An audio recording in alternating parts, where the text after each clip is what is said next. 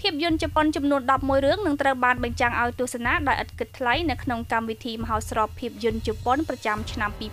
2018ភាពយន្តទាំងនោះរួមមានភាពយន្តបែបមនោសញ្ចេតនាស្រមើស្រមៃអាតកំបាំងភាពយន្តប្រឌិតបែបបច្ចេកវិទ្យាភាពយន្តគំនូរជីវចលភាពយន្តបែបរន្ធត់និងកំ pl ែងជាដើមហើយក្នុងនោះមានខ្សែភាពយន្តខ្លះធ្លាប់ទទួលបានពានរង្វាន់ផងដែរ ភាពយន្តដែលនឹងត្រូវចាក់បញ្ចាំងនេះឆ្លុះបញ្ចាំងអំពីជីវភាពរស់នៅរបស់ប្រជាជនសង្គមនិងវប្បធម៌ជប៉ុន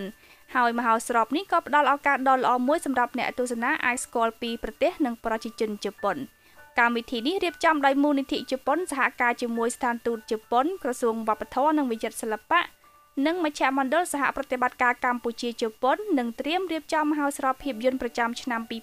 2018ចាប់ពីថ្ងៃទី8ដល់ថ្ងៃទី11ខែវិច្ឆិកាឆ្នាំ2018នៅរោងភាពយន្ត Major Cineplex Eon 1និងរោងភាពយន្ត Legend សាខាទួលគោកនៅរាជធានីភ្នំពេញនិងចាប់ពីថ្ងៃទី16